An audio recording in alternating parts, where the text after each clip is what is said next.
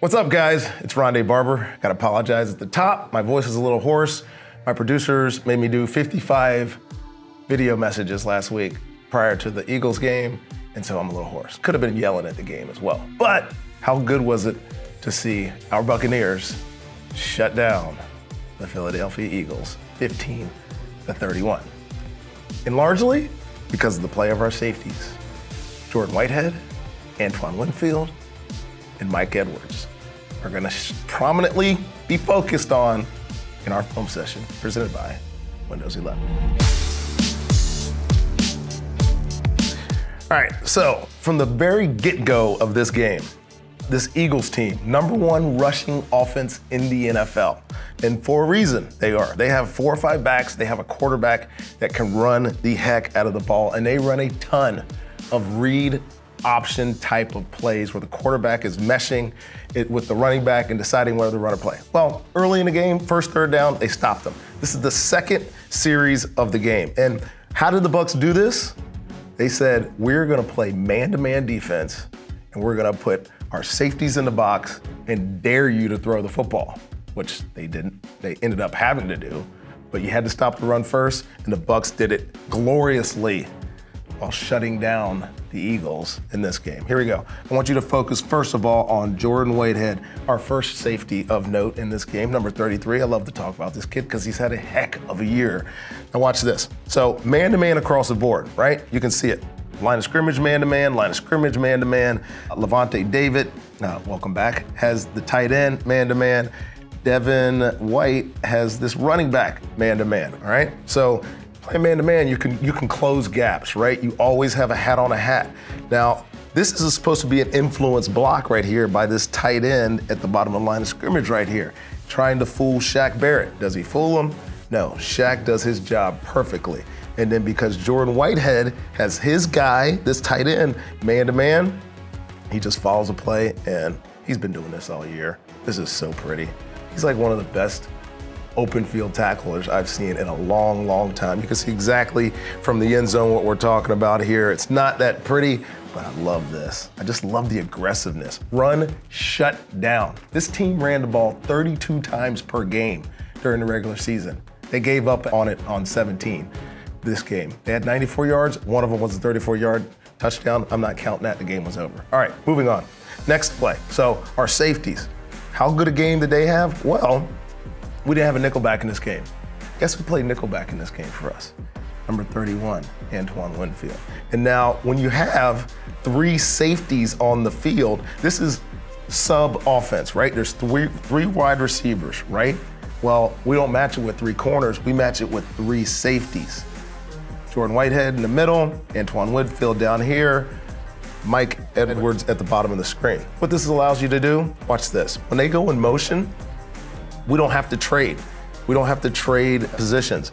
Mike Edwards goes, puts the blitz back on with the corner. He goes over. Antoine Winfield comes over here. The blitz trades. He's going to pressure. Now, why I wanted to draw up this play, because this is a sack. This is early in the football game. Why I wanted to draw up this play, because it really emphasizes the genius of our defensive scheme, right? What does this look like? To me, this looks like maybe man to man down at the bottom of the screen. You might have a safety over the top. Could be quarters over here. Who knows, right? Jalen Hurts doesn't know. I know that for sure. Because when this ball is snapped, what looks like a five man pressure ends up being a four man blitz. You're to see Jamel Dean come off the edge. Here's Antoine Winfield, our focus, coming off the edge. These two defensive tackles drop in the coverage. And at the end of the day, this is just a four-man rush. The, the, the, Eagles' offensive line is like, what in the heck is going on? The two biggest dudes on our defense are in coverage, and Jalen Hurts can't get rid of the ball. Antoine Winfield sack. You'll see it from the end zone, exactly what I'm talking about. Look at these four deep down defensive linemen, right? Who's coming, who's not? These two guys pull out.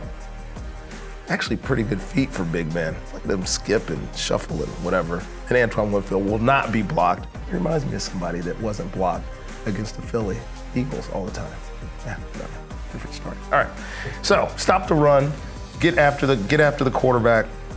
We force Philadelphia to throw the football, and to me, this is the single biggest play of the game. And why do I say that? Because right before the half, 58 seconds left, 17 points, zero points, and Philly is going into score, right? And when I watched this play back originally, I was like, oh man, this is a touchdown. Because they are playing man to man defense, man to man defense, man to man defense, and most importantly, man to man defense down here, right?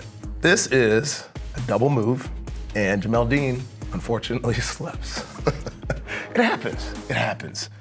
But because the pressure is so good up front, Lavonte David coming off one side, Devin White coming off the other, forcing Jalen Hurts to do what he doesn't do well is make quick decisions throwing the football. And as he has to escape, you think this is a touchdown, right? If I stop that right there, you said touchdown. DeVonta Smith is wide open. However, let's go back and mention Mike Edwards, middle of the field. This is excellent safety play. Why? Because when the quarterback starts to escape the pocket, all you have to do is cover one half of the field. And when I looked this back, said touchdown, and then I looked back and looked at Mike Edwards and I said, this is an interception all the way. It's almost like he's baiting him. Please throw this ball. I know Jamel Dean is beat on the ground. Please throw this ball. And he does. Could have been 17 to 7. It was 17 to nothing, and the route was on. All right, only other play I got to show you guys is because we had another turnover in this game. Shaq Barrett with a great interception, athletic interception, right? Unbelievable for a defensive lineman. And he looked like a defensive lineman running with it afterwards. However, it did set up a touchdown pass to my favorite player in the playoffs right now, Mike Evans. And look, Bucs were able to run the ball pretty consistently in this game. Ke'Shawn Vaughn had a great start. The first play of the game was a, a breakout run for the Bucs. Watch this play action, this play action action by the Bucs offense here, and watch what it does to these five defenders for the Philadelphia Eagles. Now, if you said I'm going to give you Mike Evans against any DB, much less a safety, one on one with no help, with all this field to work with, did you think it would be a touchdown? That's exactly what happens. And look how easily these two guys, especially, get sucked into this play fake. And I mean, I know I said Zach could throw a touchdown last week. He could easily throw this one. I mean, Alec, my other guy, could probably throw this one. He didn't even play quarterback. But it's a touchdown. Mike Evans is going to have to have a big week going forward in, in our playoffs because we're beat up at receiver. I know it's the Los Angeles Rams coming in. They're everybody's favorite. But you know what? I think I'm going to come back with a positive film session next week as well. I'll see you guys then. Cheers.